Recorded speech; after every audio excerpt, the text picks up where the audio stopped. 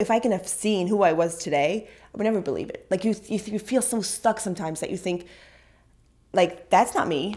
You know, like you could see this video and be like, I'm not, I'm never going to be like that. And I never thought I would be like that. I never thought I would have my own life and pursue my own stuff and feel so much a part of the world.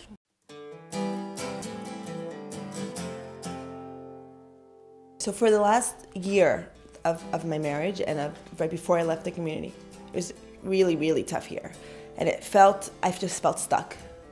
It's like just the feeling of, I know I don't want to be here, but I don't know how to get away. I didn't know there was another way. And I actually remember looking out the window, it was raining, and like watching birds, and like, I wish I was that. Like I, I felt I was like in a cage. And I felt miserable, and I was really, really depressed.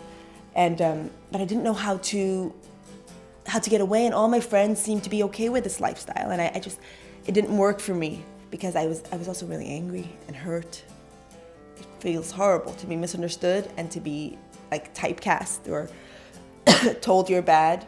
It's a horrible feeling to feel different from everybody and terrifying to leave and to feel like you're an outsider. I was struggling so much because I felt I didn't want to make the wrong decision and I didn't want to I didn't want to hurt my husband. That was a huge thing. My family, my husband, having to make a decision to leave all of that is very freeing. It's terrifying, and that's why it took a long time. It took me years to leave. I had questions since I was actively asking since I was 12. I left when I was 24. So when I first started with Footsteps, the support groups that I went to was more about just logistics of literally just like leaving. Now, now my family, like how do I tell my family? You know, how do I relate to my family now? Now there's like new experience, new foods, new everything that you kind of want to talk about. New, I don't know what men want from me. I didn't know how to, I didn't know what flirting was. So then there's different groups that they had like a Footsteps 2 that talks about just continuing it, like things that you want to talk about, which is dating or sexuality or family, which is constant stuff, right? I could share my thoughts and I could share without being judged and and other people feel the same way because I felt so different in the community and every nobody would understand me, right? And all my friends seemed okay.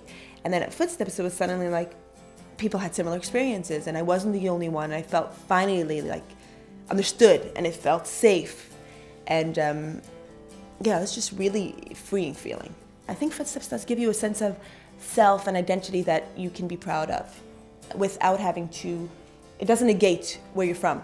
To be like, I'm a member of these group of people who are incredibly brave and strong and make the decision to leave and we support, support each other in our endeavors, in our struggles, in our life. I can't really think about how it would have been without Footsteps. I was lucky to have it.